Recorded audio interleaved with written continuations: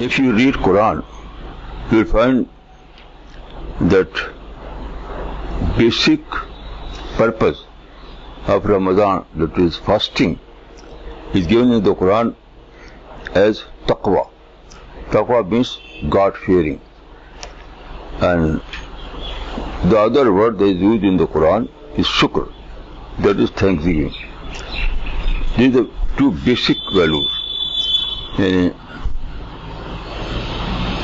Because when you observe fasting, so you experience that the high value of food and water.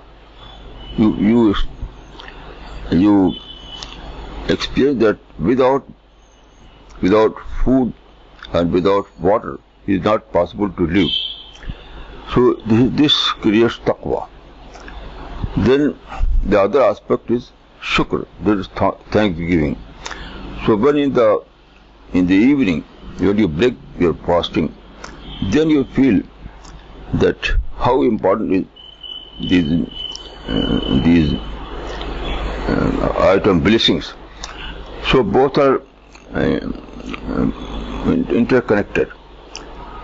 Uh, as one aspect, it is taqwa, and, and the other aspect is shukr. Then the third word is used in the hadith. Hadith. In hadith there is a um, uh, Prophet says that is shahr sabr. Shahr sabr means Ramadan is month of patience. It is very clear that fasting is an act of patience. So these three values are mentioned in the Quran and Hadith. Taqwa, shukr and sabr. So when one observes fasting, he, um, so the purpose of Ramadan is to inculcate these three values in every believer. God fearing, spirit of God fearing, spirit of thanksgiving, and spirit of patience.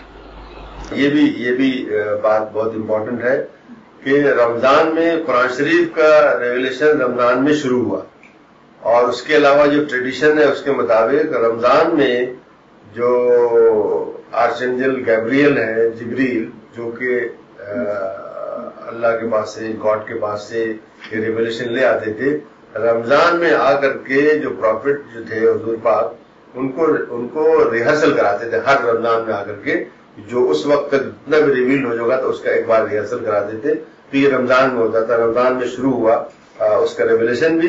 और हर रमज़ान में आकर के वो उसको rehearsal कराते थे ताकि वो भूल न जाए और वो जिस तरह से रिवील हुआ है उसको उसको याद रखें। तो ये बात भी और शायद ये वजह भी है कि हर जो भी रोजा रखने वाला है, कोशिश करता है कि इस महीने में एक बार रमज़ान को कुरान को पढ़े।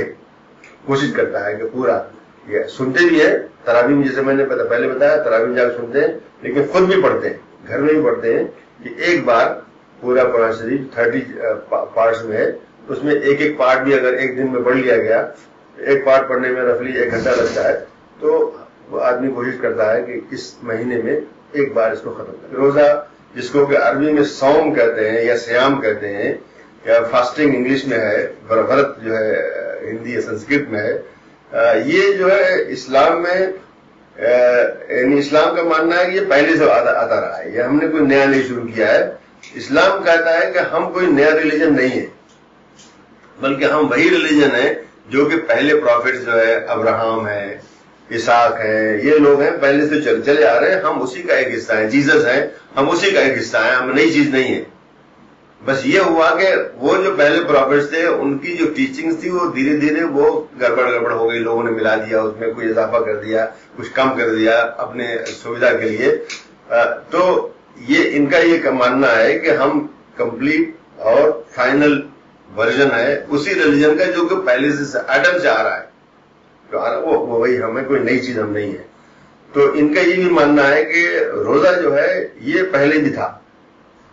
और आज भी है कोई नई चीज़ नहीं है। Exactly thirty days twenty nine days ना रहा होगा लेकिन रोजा किसी न किसी शक्ल में पहले भी था तो इसके अंदर भी है। रोजा जो है उसका मकसद जो है अपने आप को प्यूरिफाई करने का है। एक तो ये कि आदमी खाने पीने में अपनी कुछ कमी करे, अपने जिस्म को ज़्यादा आराम दे। उसके अलावा इसमें प्रेयर्स वगैरह का बहुत खास हुआ है। खास तरीके से रात को प्रेयर्स करने का। एक तो ये कि जो नॉर्मल हमारी जो जो नाइट प्रेयर जिसको ऐशा बोलते हैं उसके बाद फिर अलग से प्रेयर्स पढ़ी जाती है। मस्जिद में ही पढ़ते हैं लोग घर में पढ़ सकते हैं लेकिन मस्जिद में पढ़ते हैं। कोई आठ रकात पढ़ता है आठ मतलब रकात होती है। रकात मतलब एक, एक सेट ऑफ़ प्रेयर जो है कोई आठ पढ़ता है कोई बारह पढ़ता है कोई बीस पढ़ता है। इस तरह से कोई इसमें वो नहीं है जितना आदमी का दिल चाहे। प्रॉफिट के जमाने से चल रहा था। प्रॉफिट के जमाने में लोग अलग अलग पढ़ते थे मस्जिद में पढ़ते थे अलग अलग पढ़ते थे। उसके बाद जो सेकंड कैलिफ है उन्होंने कहा कितना अच्छा होता कि सब लोग मिलके पढ़ते तो उन्होंने मिलके लोगों को पढ़ा तो अभी लोग मिलके ही पढ़ते हैं। लेकिन किसी को अलग पढ़ना है तो कोई बात नहीं है। मस्जिद में अलग पढ़ना है या घर में अलग पढ़ना है तो कोई बात नहीं है। तो ये जो नाइट प्रेयर जो होती है ऐशा जो रफली साढ़े नौ, दस बजे रात को पढ़ी जाती है। साढ़े नौ बजे पढ़ी जाती है आजकल। तो उसके बाद, फ़ौरन बाद ये ये पढ़ी जाती है। तो ये गोया ये सिर्फ़ इसी महीने में होती है और नहीं होती है। उसके अलावा ये ये स्पेशल प्रेयर जो जिसको तरावी बोलते हैं। तरावी जो है, ये इसी में होती है, आठ, दस, बारह, रफली इसमें आधे घंटे से लेकर के एक घंटे तक लगता है इसमें। और इसके अंदर कुरान शरीफ पढ़ाते हैं, पढ़ते हैं। जो आदमी इमाम बोलते हैं, जो लीडर है प्रेयर का, वो कुरान शरीफ पढ़ता है।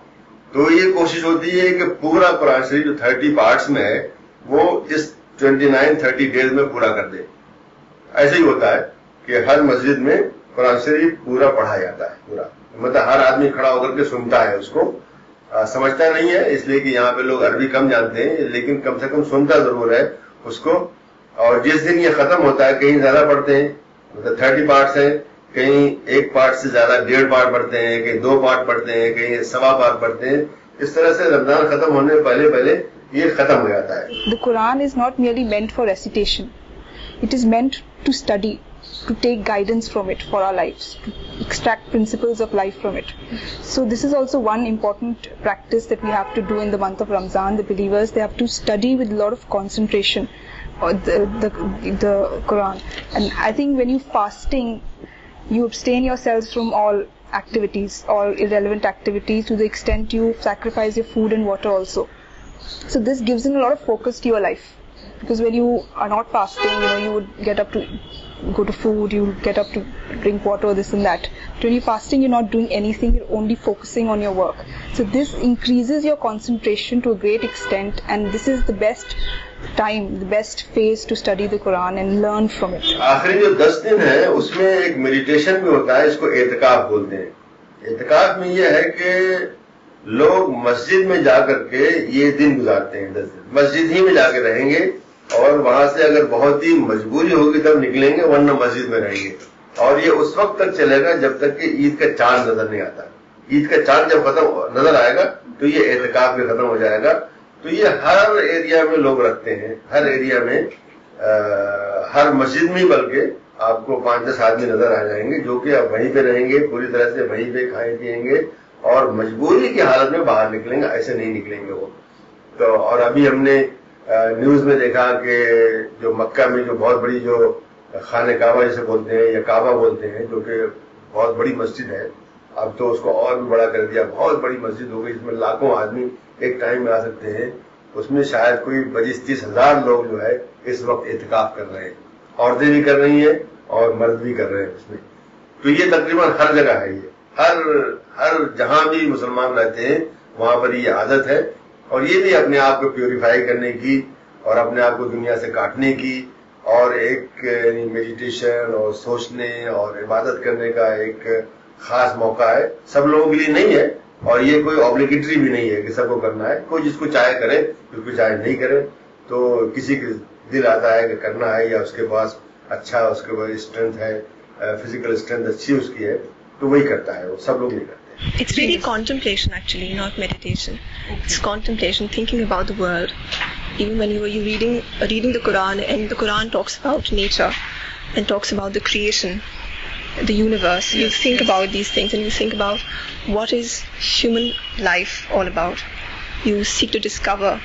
इस महीने में बुराई और गिबत नहीं रखना है दिल में और दिल से मतलब गले मिलना है सीना मिलना है दुश्मनी को भुलाना है मस्जिद के अंदर, इसलिए हाथ मिलाना है। खुशी का एक मुबारकबाद देना। In in Quranic term it is तस्किया is also यानी one aspect of the Ramzan to purify your soul purification means यानी to try to to try to inculcate yani, positive values instead of negative values. This, this is purification. पहले हम जब नियत बांधते हैं तो हम पहले ही ऐसे बोलते हैं जैसे शौमे गदी नवे तो मिन शहर रमज़ान ए अल्लाह ताला हम रोजा रख रहे हैं तेरे लिए तो हमारा रोजा कबूल करना और इस रोज़े में जो गलती हो जाए अनजान में तो हमें माफ़ कर देना। तो हम नियत बांधने से पहले ही ना अगर धोखे में हमसे गलती हो जाए ऐसे याद है हमें पानी पीना है। और फिर हमें बाद में याद है हमारा तो रोजा अल्लाह हमारा रोजा क्या हुआ? तो हमने अनजान वो हरकत किए तो रोजा बुकरू नहीं होगा उसमें। क्योंकि हमें पता नहीं था हमने भूल से किया होगा। और उसकी नियत हम पहले बाँध चुके हैं। और अगर जानबूझ की अगर हमने हरकत की है तो वो बहुत बड़ा अजाब है डबल गुना मिलेगा उसका। हमने जानबूझ के पानी पिया है। फिर बाद में भी हमारा रोजा भी और हमने पानी पी लिया। फिर में अगर रो- रोज़े कुछ और दिन के लिए रखना ऐसा करते हैं या मतलब जो रोज़े कम हो जाते हैं। तो जैसे कभी तबीयत खराब हो गई रोजा नहीं रखा या हम सफ़र पे चले गए हमने रोजा नहीं रखा तो ये रोज़े तो बिल्कुल माफ़ है नहीं। तो हम बाद में भी ये रोज़े पूरे कर सकते हैं क्योंकि ये बिल्कुल माफ़ नहीं है पूरे तीस रोज़े हमें करना है। नहीं तो अल्लाह के यहाँ बाद में हमारी पकड़ होगी क्योंकि ये महीना पूरा उसी के लिए है अल्लाह के लिए। वैसे तो हमारे इधर दिया है कि सात साल के बच्चे को रोजा जायज़ है उसके ऊपर वाजिब है। मैंने तो आठ साल से रखा था क्योंकि मम्मी ने रखने नहीं दिया था इसलिए मैंने आठ साल से रोजा रखना शुरू किया तो शुरू में तो बहुत बहुत पहले दिन तो बहुत दिक्कत हुई थी क्योंकि पानी भी नहीं मिलता है उसमें तो पीने को। अगर पानी भी ऊपर वाला थोड़ा छूट रख देता तो फिर भी थोड़ा ताकत मिलती मगर वो भी नहीं। पानी भी नहीं पी सकते उसमें तो। खाने की तो दूर मम्मी ने बहुत ध्यान दिया कहीं चुपके से पानी ना पी लें। तो जब पहला रोजा रखा जाता है उस दिन रोजा खुशाई करवाई जाती है। जैसे कि हमारे बच्चे ने पहला रोजा रखा है तो हम रोजा खुशाई करेंगे हार डालेंगे नया कपड़ा पहनाएँगे और मोहल्ले में जितना लोग होंगे सबको अफ्तार पे बुलवाएँगे। उनका भी रोज़े अफ्तार करवाएँगे फिर वो लोग अच्छे अच्छे गिफ्ट देंगे कि रोजा रखा है इन्होंने। ये होता है। अब जिसका भी छोटे बच्चे का पहला रोजा जो रखवाते हैं ना, उसको रोजा अफ्तार ज़रूर करवाना है हम लोग ने। ऐसे चुपके से नहीं रखवाते। अब ज़्यादा गरीब हैं तो घर ही घर में जो रिश्तेदार है बाहर लोग को नहीं पिला सकते। तो थोड़े ही मिलके घर में रोजा खुशाई कर ले। तो वो भी बहुत अच्छा लगता है और खुश माहौल लगता है। और बच्चा भी खुश होता है उससे और बीमार लोग भी रोजा नहीं रख सकते, जैसे डायबिटीज़ के पेशेंट है। तो वो रोजा नहीं रख सकते, क्योंकि उनको इंजेक्शन लेना पड़ता है। तो इंजेक्शन में ब्लड भी आ सकता है। तो इसलिए रोजा मुकरू हो जाएगा। जैसे टीबी के पेशेंट हैं उनको भी कुछ खांसी चलता है या कुछ है तो उनके ऊपर भी रोजा फ़र्ज़ नहीं है। वो जितनी चाहे इबादत कर सकते हैं कुरान पढ़ सकते हैं नमाज़ पढ़ सकते हैं ये कर सकते हैं। उनके ऊपर रोजा फ़र्ज़ नहीं है बीमार लोगों के लोगों बुज़ुर्ग लोग भी अगर जिनमें थोड़ा ताकत है वो रख सकते हैं। और जिनमें ताकत नहीं है हिम्मत नहीं है या चक्कर आ गया एक दो रोजा रख लिया तो उनके ऊपर भी इतना जुल्म नहीं है मतलब वो भी इबादत कर सकते हैं लंगड़े लूले हुए वो रोजा रख सकते हैं नमाज़ पढ़ सकते हैं अगर हाथ नहीं है पाँव नहीं तो इशारे से नमाज़ पढ़ सकते हैं इशारे से भी नमाज़ होती है There are so many traditions yeah. of the Prophet that they, we have to be very charitable. We have to think about the have-nots, hmm. and it's this is the experience we undergo during Ramadan, because those the haves don't experience usually what is food and what is hunger, what is hunger and what is thirst. So this experience really is very important in making us feel the pain of those who don't have all these facilities. So in this way we become more sensitive to the needs of the poor. अच्छा जक़ात भी इस महीने में देना लोग पसंद करते हैं।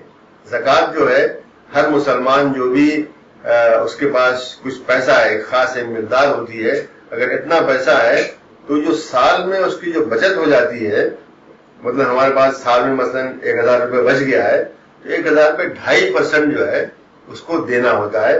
तो लोग रमज़ान में पसंद करते हैं देना। इसलिए उनका ख्याल है कि रमज़ान में जक़ात देंगे तो उसका जो सवाब है रिवॉर्ड है उसका बढ़ जाता है उसका। फितरा जक़ात ये देना वाजिब है। हमारे यहाँ अगर एक दिन का बच्चा भी पैदा होता है तो उसके ऊपर भी फितरा और जक़ात जान माल का सबका जिसे बोलते हैं वो जायज़ है। वो जायज़ है। हम्म, तो आ, अगर मतलब माँ बच्चा तो दे नहीं सकता है फितरा जक़ात वो तो एक दिन का बच्चा है। तो माँ बाप उस हैसियत पे हैं तो उस एक दिन के बच्चे का फितरा, जक़ात दे सकते हैं। गरीब से गरीब भी है तो उसके ऊपर फितरा, जक़ात वाजिब है। ज़्यादा गरीब है तो वो अपने लिए मतलब एक इंसान के लिए पैतीस पैतीस रुपये जक़ात वाजिब है। अगर तीन लोग घर में हैं तो उनका मिला के हो गया एक सौ पाँच रुपया जक़ात देना। है तो इस तरह से गरीबों की मदद हो जाती है। अब हम दसन जी का हमारे घर में सात आदमी है, दस आदमी है, दस आदमी अगर है तो पाँच सौ रुपए यहाँ से नमाज़ से पहले देना है। तब वरना नमाज़ से पहले नहीं देंगे। तो ये सोच ये है कि इसका जो सवाब मिलता है मतलब गॉड की तरफ़ से इसका जो जो रिवॉर्ड मिलेगा वो कम हो जाएगा। तो इसलिए लोग जो है पहले ही देते हैं, एक दिन पहले दे दिया, दस दिन पहले वो भी ठीक है, लेकिन नमाज़ से पहले देना है। ताकि गरीब आदमी जो भी है, जो कि अपने घर में अच्छे खाना नहीं बना पा रहे, अच्छे कपड़े नहीं पहन पा रहे, या बच्चे वगैरह वो बारह ये वो खरीदना, वो नहीं कर रहे, उनकी ये मदद हो जाती है। ये हर जगह ही है। तो हर गरीब के ऊपर फितरा, जक़ात वाजिब है। रोज़े जो हैं, फ़र्ज़ हैं और रोज़े माफ़ नहीं है। जैसे गुनाह इंसान अगर कर लेता है या बुराई कर देता है तो वो माफ़ है। ये इससे मोमिन महीने की जो तीस दिन के रोज़े हैं ये माफ़ नहीं है क्योंकि पूरा साल में एक बार ये महीना आता है इस महीने में ग्यारह महीने तो हम लोग के होते हैं और ये बारह महीना सिर्फ़ ऊपर वाले का होता है Eid is celebrated as a day when the fasting is over. So it is a festival of the breaking of the fast. But it's not merely a festival or a celebration. I think Eid is a, is a reminder of a reality of life because throughout the period of Ramzan you are fasting. So you're doing something that is very difficult. Then when Eid comes, you break the fast and you, you enjoy, you eat, you celebrate, etc. So you realize that human life is also divided into two phases. One is the pre-death period, when, when you face difficulties and toil, and you have to go through, you know, difficult periods But in, if you behave properly in this life, if you, if you, you know, give the right response to the various situations and hardships that you face, then in the hereafter God will promise you, God will reward you with paradise. So Ramzan and Eid represent in this way a pre-death period and post-death period. The period of work and the period wherein you sow what you have, uh, and you reap whatever you have sown. मेरे बचपन में ऐसे ही था कि हम लोग मोहल्ले की मस्जिद में नमाज नहीं पढ़ते थे बल्कि ईदगाह जाते थे ईदगाह शहर के बाहर होती है। अभी जो कि शहर बड़ा हो गया या गाँव बड़ा हो गया तो वो गाँव के अंदर आ गई है लेकिन पहले जो बनाते थे वो बाहर होती थी। बड़ी सी जगह और वो उसके ऊपर कोई छत नहीं होती थी खुली हुई खुली होती थी वो। तो ऐसी जगह पे सब लोग वहीं जाते थे सब लोग वहीं मिलते थे। कम से कम साल में दो बार ऐसा होता है जिसमें कि सारे लोग वहीं आ जाते थे मिलते थे एक दूसरे से गले मिलेंगे मिलेंगे बात करेंगे। हर गाँव में। हर गाँव में ऐसा था हर गाँव की अपनी ईदगाह है। छोटा बहुत छोटा गाँव तो नहीं होगी लेकिन एक बड़ा गाँव है तो उसकी अपनी होगी। शहर के अंदर भी ऐसे ही है दिल्ली में भी ईदगाह मौजूद है लेकिन अभी वहाँ कौन जाता है? पास के लोग जाते होंगे सही है अभी भी जाते होंगे लेकिन ये कि पूरा शहर वहाँ पे अब नहीं जा रहा है और बहरहाल वो इतनी छोटी हो चुकी होगी आबादी के लिहाज से कि वो उसमें समाएँगे भी नहीं लोग। लेकिन अब ये शुरू हुआ है मैं समझता हूँ पंद्रह बीस तीस साल से शुरू हुआ है कि अब हर मस्जिद में नमाज़ हो रही है जो कि उसके स्पिरिट के खिलाफ है। स्पिरिट यही है कि लोग मिले एक दूसरे से एक दूसरे के जाने पूछे ठीक हो क्या, क्या हाल चाल है साल में कम से कम दो बार तो मिलने सब लोग एक जगह पे लेकिन अभी पास जो मस्जिद है वही चले जाते हैं मतलब एक एंट्रेंस से आना है और दूसरा एंट्रेंस से निकलना है हाँ ये भी हाँ ये भी उसी का वो है कि मस्जिद जाते हुए एक रास्ते से जाना है और वापस आते हुए दूसरे रास्ते से। इंट्रेंस की बात नहीं, मस्जिद इंट्रेंस की बात नहीं है, रास्ता। The path you take to the mosque should be different ये एक, वो है, आज भी लोग ख्याल नहीं कर रहे इसका, लेकिन पहले ऐसे ही था। हम भी बचपन में ऐसे ही करते थे। जाते थे मस्जिद से, हमारे जो बड़े थे, वो बोलते थे कि भाई इधर से जाना है, फिर उधर से वापस आना है। वो भी इसलिए कि लोगों से मिले, देखें उनको नए नए लोग, उस इलाके में ऐसा असर होता है कि लोग जिस एरिया में रहते हैं, उसी में बस घूमते फिरते रहते हैं, या वहीं से निकले, शहर चले गए, या शहर के अंदर भी अपने एरिया में, लेकिन इस तरह से आप दूसरे एरिया में भी गुजरते हैं। तो ये भी इसी का, यानी एक, जो स्पिरिट है कि एक दूसरे को जाने, उसको जानना जो है, जैसे हज है, हज जो है सबसे बड़ा दुनिया में सबसे बड़ी गैदरिंग जो है, अभी हज है, यानी पाँच छह मिलियन आदमी सारी दुनिया से वहाँ पे आपको नज़र आते हैं। उसके स्पिरिट यही है कि लोग साल में एक बार वहाँ पे मिले और ऐसी यहाँ पर ईद में भी ऐसा है कि दो बार होती है दो बार लोग कम से कम मिले। पहले ऐसे ही होता था। तो हमारे यहाँ जैसे कि मेहमान आते हैं वो पड़ोसी भी अगर उस टाइम भाईचारा हो जाता है तो वो भी हमारे यहाँ आते हैं। हम शीर में बनाते हैं सिमैया बनाते हैं।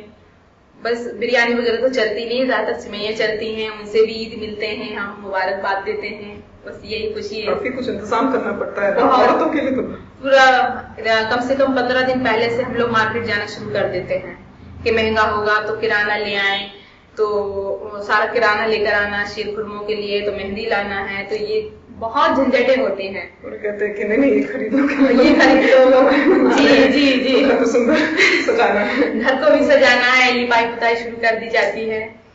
पंद्रह दिन पहले से रोज़े भी रख रहे हैं और घर का साफ़ सफ़ाई भी कर रहे हैं कि मेहमान आएँगे। और अफ्तारी का भी और अफ्तारी का भी कर रहे हैं। तीन दिन से हम लोग अफ्तार का शुरू कर देते हैं। तीन काम हाँ। तीन बजे से जो अफ्तार का तैयारी होती है हमारा तीन बजे से शुरू कर देते हैं। जो असर की नमाज़ पढ़ते हैं उसको पढ़ते ही सब शुरू कर दिया जाता है। लोग सुबह को आ, आ, उठ करके नहाए धोएँगे और आम तरीके से नया कपड़ा पहनेंगे। किसी के पास नहीं है तो अलग बात है, लेकिन आम तरीके से नया कपड़ा पहनेंगे। उसमें भी कोशिश करेंगे कि सफ़ेद कपड़ा हो। सफ़ेद कपड़ा जो है यानी सफ़ाई क्लीननेस का एक नमूना होता है। लेकिन कोई ज़रूरी नहीं है, कुछ भी पहन सकते हैं। पहन करके फिर मस्जिद जाएँगे। मस्जिद में दो रकात नमाज़ होती है।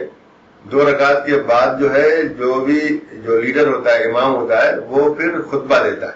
खुतबा मतलब सरमन। एक लेक्चर होगा, काफ़ी लंबा लेक्चर होता है। रफली तकरीबन पौन घंटा, एक घंटे का लेक्चर होता है।